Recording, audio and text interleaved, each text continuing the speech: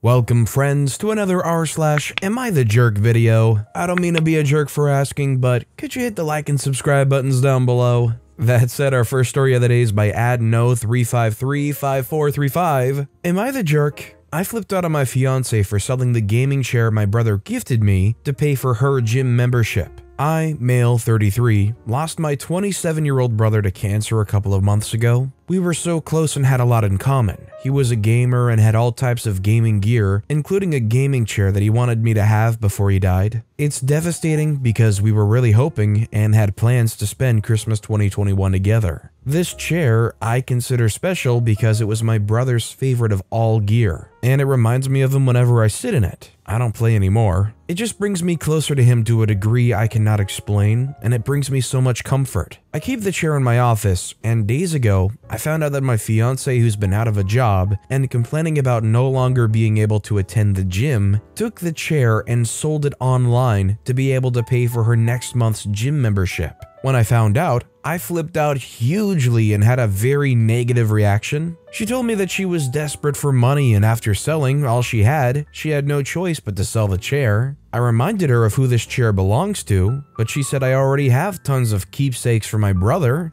and so I shouldn't act like it was the end of the world. She also vented about her past eating disorders and her anxiety when it comes to keeping fit, and claimed that I was dismissing that she's struggling. I yelled at her and called her inconsiderate and selfish, and told her that she should never have took and sold any of my stuff for a gym membership when she literally could have kept working out from home. She started crying as we argued, then she went to stay with her mom, who tried to give me a stern talk about my attitude, but I didn't answer that, and haven't been talking to my fiance since then. Things haven't gotten better, and I got called over dramatic for reacting and treated my fiance like that over a gaming chair. I feel guilty because I've never yelled at her in my life before. Am I the jerk? Was I too hard on her? I would definitely think OP was not a jerk in this situation. To somebody on the outside looking in, maybe you see something that somebody has a lot of sentimental feelings over that you would be like, it's just a chair. But I feel like considering who it came from, how much it meant to that person, how recent everything's happened, it's totally understandable to feel that way. And then second off, she stole it from them without telling and sold it. I hope OP can get their chair back. What do you guys think? Is it weird to be so sentimental over a gaming chair? Or do you think OP's completely in the right here? Let me know what you think in the comments. Our next story is by the elder Agrippina. Am I the jerk for tricking my boyfriend into eating vegan? I, female 21, am vegan and have been so for several years. I started dating John, male 22, about three and a half months. We've gotten along wonderfully except for this past issue. When we went out to dinner for the first time, I told him I was vegan when ordering my dish, and he just kind of went, oh, cool, and started talking about something else. It never really came up ever again as a point of discussion, though when he's come over and I've made lunch or dinner, it's always been vegan dishes. I've never tried to actively hide this from him. When he asked what we were having, I'd say things like burgers, and I assumed that he knew it would naturally be something like Impossible Burgers. For Christmas, neither of us could afford to travel home, and neither are very close to our families, so we had Christmas at my apartment and I cooked dinner, vegan lasagna. After dinner, we were watching some cooking show and a contestant was making something with fake meat. John commented how he hated when dishes pretended to be meat when it was plant based, and it was deceptive and gross and he would never eat that. I was naturally very confused and pointed out that he's eaten that several times. When he questioned me, I explained that dinner had been entirely vegan with fake meat, and every time he's eaten at my place, it's been a vegan dish. He got really mad. I'm trying to keep this post concise, but he accused me of tricking him into eating something he found disgusting and forcing my diet on him. I said he was stupid for being mad at this, and he said it would be the same as if he tricked me into eating meat. I said it wasn't the same because I was morally opposed to eating meat, but nobody was morally opposed to eating plants. We argued some more and he left and went home. He hasn't been over since. Yesterday, I texted him to smooth things over and hoping he's cooled down. He wrote a few paragraphs about how betrayed he felt. He said that he hoped I understood how disappointed he felt that I would tamper with his food like that, and that something like this was a serious betrayal of his trust. He said I should have disclosed that none of the food I ever made contained meat. He finished it by saying he would come over for New Year's only if I apologized for lying to him. I got frustrated and said that I didn't lie, that this wasn't something I should apologize for, and he was being stupid and childish. He hasn't replied. Now, I don't know if this is controversial or not, but let me state that I'm very much for vegan imitation food. It doesn't bother me in the slightest, and I've had quite a few meals like Impossible Burgers and things like that. I think the important thing here is the boyfriend is standing on the perch of OP lied to them. I think in reality, they didn't lie. They said burgers, it's still a burger meal, whether it's a plant based burger or a meat burger. And honestly, if anything, this is more on the boyfriend for not, I don't know, asking more about what the food actually is. Then everyone said, Oh, this is really good. What'd you put in this? Or how'd you make this? Or, oh, this is kind of weird. How'd you make this? Or, oh, this isn't how I was uh, expecting it to taste. Just wolfed it down, never made a comment about it. And then after the fact is like, oh, you lied to me. Well, must have been pretty good. I think the boyfriend should get over himself. This next story is by Surfing Ponyta. Am I the jerk for refusing to be tested to see if my kidney is a match for my biological father? I am a 23 year old woman who was raised by my mother and her husband, who raised me since I was 4 years old after my biological father walked out on my mother and me when I was a baby. The man who raised me is my father in every way that matters, and I wouldn't change him for anything. A few months ago, my biological father got in contact and wanted to meet. I allowed it and slowly started to get to know him, mostly because it turns out I have younger half siblings, and I didn't want to cut them off.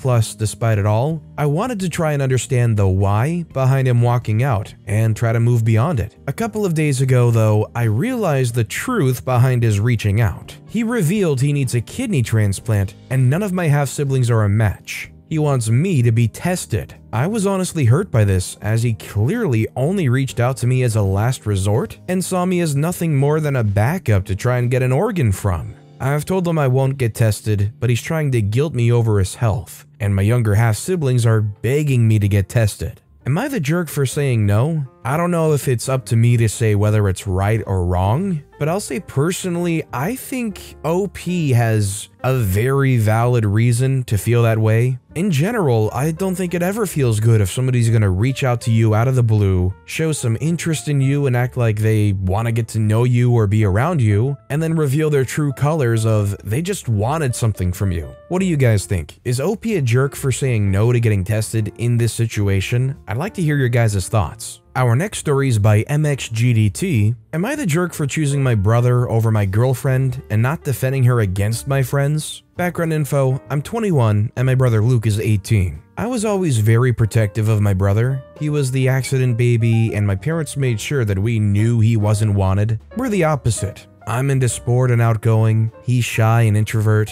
So they always criticized him, compared us, and everything he did was never good enough. Because of that, Luke got more withdrawn around my parents and my family. For my friends, we're a group of four. I met them when I was between 6 and 10. We became inseparable since then, and they quickly took the role of big brother with Luke. So during our childhood, it was always me, my friends, and Luke. We were the ones taking care of him, driving him, cheering for him at competitions, helping with homework. Things changed when me and my friends started university. We were less present. With COVID, his school closed and his competition stopped. He was at home alone with my parents, and it got really hard for him mentally. This year in September, I took an apartment with my friends and we changed city. One month ago, Luke came one night in tears. He came out to our parents the night of his 18th birthday, and it went badly. They told him awful things and still do every day. Apparently, they'll only accept him if he decided to date a girl to avoid any shame.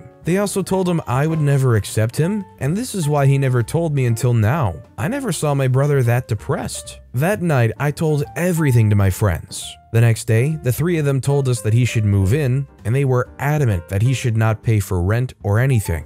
He's doing home classes, everything's good, and I can see him getting happier every day. Now, the issue I got with my girlfriend four months ago, and since Luke came living with us, she has some complaints. I'm too close to him, he's always here, always sad. She says that in front of him. I told her to stop, but my roommates told me she still does it when I'm in another room. Two days ago, the both of us were watching a movie and Luke was working on the table next to us. She suddenly started talking about her dream wedding, and at one point she said, Luke, if you want to come to our wedding, you'll have to bring a woman as a date. Two men together are not pretty for the pictures. You'll just have to date a girl. It's not hard. Luke heard, and I saw his face crumble. I immediately asked her to leave and told her I would speak with her the next day. I spent the whole night recomforting Luke. During the evening, she texted my roommates, and they all told her that she was not welcome anymore. The next day, she and I talked, and she told me that it was just a joke, that Luke was too sensitive. She also got mad when I told her that she had to respect the wishes of my roommates, that it was their home too. She then accused me of not defending her, overreacting, being too protective or too close to Luke,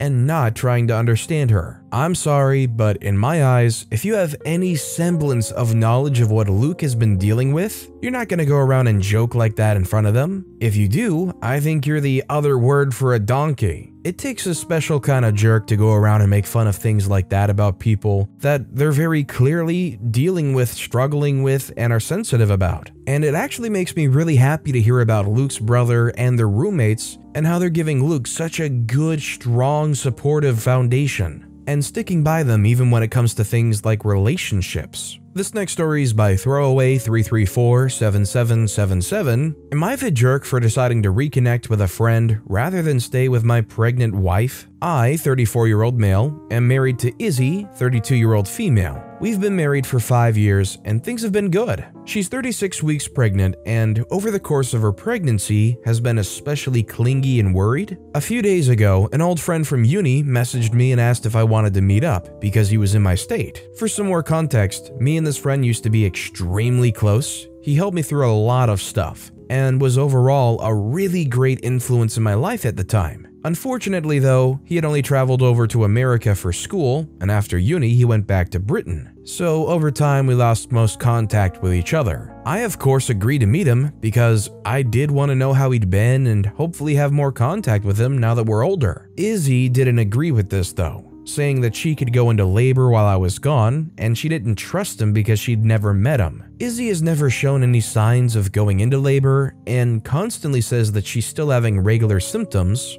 and is estimated to go into labor in mid January. To try and appease her, I asked if she wanted to come with me, which she declined. With all of this in mind, I decided to leave anyway because he wouldn't be here for long, and it wasn't just something I could reschedule at a later date. We only got to talk for an hour or so, but it went good and hopefully I'll be talking to him more. But Izzy is still being extremely cold towards me, saying that I shouldn't have left and prioritized meeting an old friend I hardly even talked to over her. I didn't think I was prioritizing the meeting, and if the situation had been even a bit different, like Izzy having actual labor symptoms or my friend living here, I wouldn't have went. I asked my mother about it and she agreed that I was the jerk here and that my wife should come before an old uni friend. I don't really know how to fix the whole situation, and I don't think I was really in the wrong. Am I the jerk? Now, when your partner's pregnant, I do think it comes with a lot of extra responsibility, making sure everything is good. In this situation, it was a very limited time thing, they're only gonna be here for a while. OP's wife was showing no worrying signs. She's expected to deliver within a few weeks. I think it was a bit of an overreaction from her. And OP even offered to bring her along if she was that worried. I don't think OP was being a jerk here. And honestly, once they got back and it's revealed that nothing went wrong and there was no problems at all, I know it's difficult probably with the pregnancy going on, but I feel like the wife should just kind of let it go. And our final story of the day is by Cancer Throwaway 1235. Am I the jerk for exposing my sister for faking a terminal illness? I, 24 year old male, have been noticing that my sister, 17 year old female, has been posting TikToks of her coughing, holding random tubes, and other crap that threw up some red flags for me, but I thought it was harmless. Just a kid being dumb, like kids are known to do, until I met her boyfriend, 19 year old male, during our family Christmas. Her boyfriend was an incredibly polite guy that introduced himself, brought a gift for my mother, and was affectionate towards my sister. An awesome guy all around. Later in the night, the three of us were sitting and talking in the living room when my sister had to step away. The silence was broken by him asking me how I took the news. I asked what he was talking about and was informed that apparently my sister was dying. On top of that, my sister was hospitalized from the 17th to the 19th and had to cancel her plans with him. I didn't really think anything of it as I corrected him that my sister spent the entire weekend at home playing games and barely leaving her room, and that she wasn't sick that any of us knew of. He didn't really react. He did the Midwest tradition of putting your hands on your lap and standing up and making literally any excuse to leave. My sister informed me that they broke up and she no longer wants to talk to me. I later found out from a friend of mine that she's pretending to have an unspecified terminal illness for sympathy and apparently sometimes money. She would routinely cancel plans because she was too weak. I definitely don't think OP's the jerk. If anybody was in that situation and they didn't know, I feel like after the fact, they would be wishing that they found out a lot sooner. Imagine caring for somebody and doing things for them and buying things and giving them experiences. And then you just find out from an offhand comment from their sibling, oh, they're not sick. It's really nice that they just stood up and walked out because I feel like a lot of people would have very different reactions. But with that being said, that's all the time we have for today. So, of all these stories I've read today, which is your favorite and why? Let me know in the comments down below. And if you haven't yet, if you could like and subscribe, that would mean a lot to me. Whatever you do, whether it's liking, subscribing, turning notifications on, all of it helps grow this channel, and I appreciate the heck out of it. So until next time, I'll see you all tomorrow with some more stories.